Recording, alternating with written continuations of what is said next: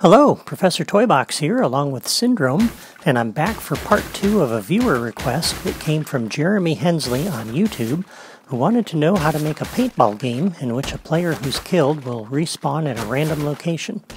Last time I set up the paintball game itself. I started with the paintball game template and showed you how to modify it to create a paintball game with two teams. Today I'm going to show you how to modify it further to set up the random respawn. Right now, if you die, you'll respawn at the same location where you died. This makes it too easy for the other player to camp out at that spot and snipe you when you respawn.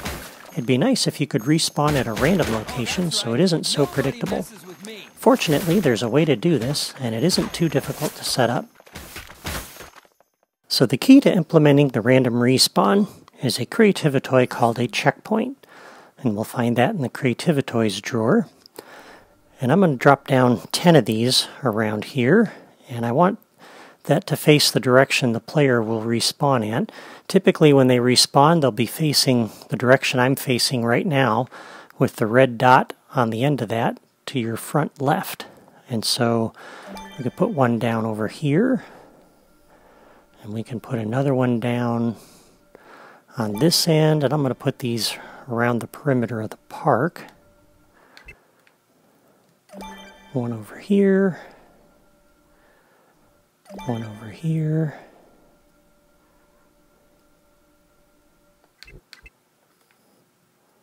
One facing that way. And I don't think I want to put one here behind the podiums. Um, so let's see, that's what, one, two, three, four, five so far. And we could put one out here on the street a little ways. I've already got one over here I can use. That would be seven. Put one over by the bus stop. That would be eight.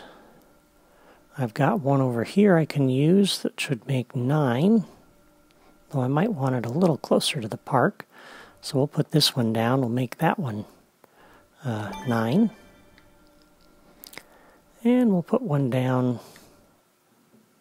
right over here. So that's 10. So now we have 10 different potential places where the player could respawn. And typically how these work is you put it down and the player would run over those. And when they do, and here we'll just go ahead and demonstrate it.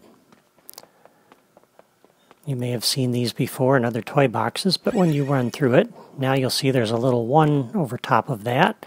And when the player respawns, that's where they'll come back to.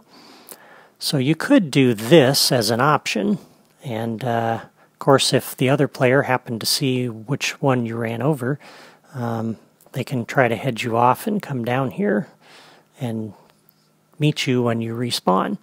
So that may or may not help, but that's the easiest way to do that. Um, of course, they only work if you happen to run through one of those. If you don't, you're still going to respawn where you died before. But there's another way to use these through logic connections.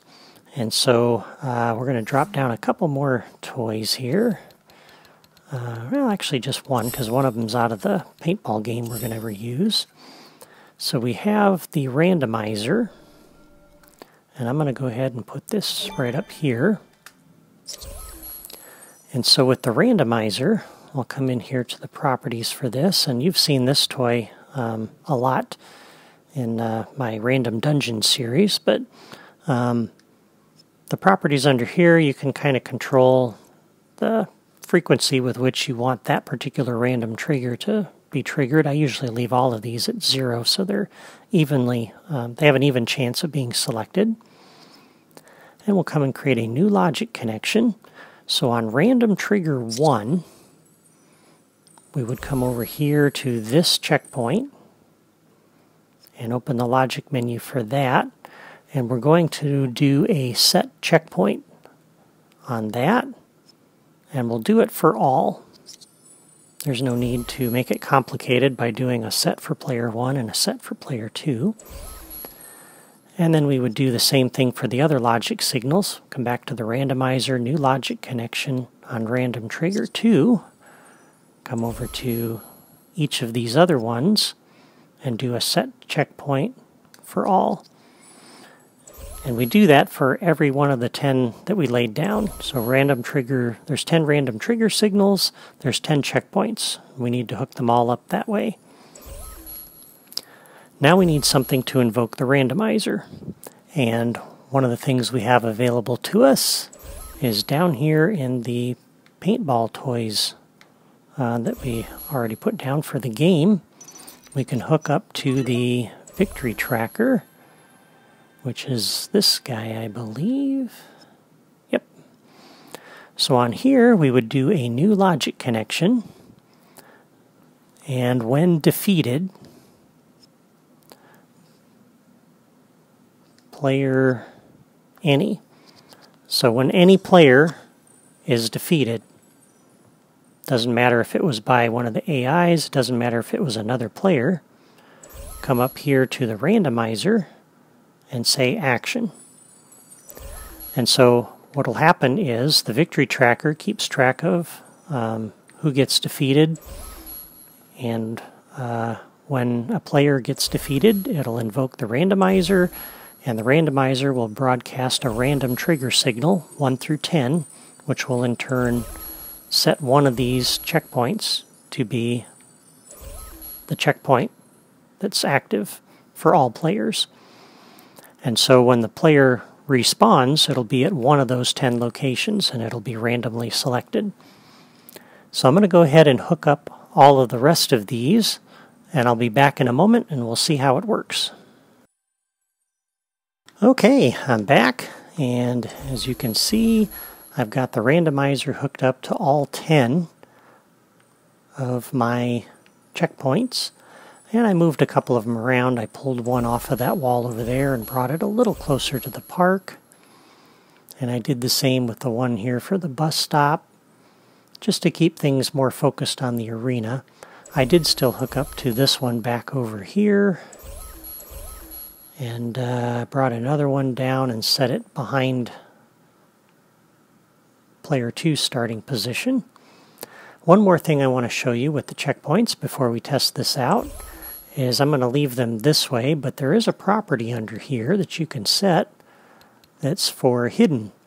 So if you don't want to see the checkpoints in your game and all of the possible places where the player may respawn, you can turn those off and they're still visible um, when you're in the editing mode. Um, well, usually there's like a ghost image, I thought, but well, anyway. um, anyway, you can turn those off and hide them, and uh, that way it won't be quite as obvious to players where they can possibly respawn. Um, so let's go ahead and give this a try. I set up a spinner down there, and I ran Syndrome into this thing a bunch of times to get his health really low, just to make this easy to test. So let's go ahead and try this out with a random respawn and see how it works.